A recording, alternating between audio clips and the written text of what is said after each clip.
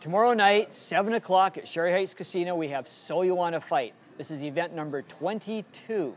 We have 28 fights, tough man boxing, tough man mixed martial arts, one of the most exciting events you'll ever see.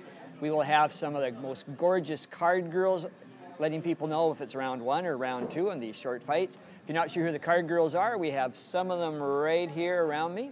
And we got some of the roughest, toughest fighters you've ever seen.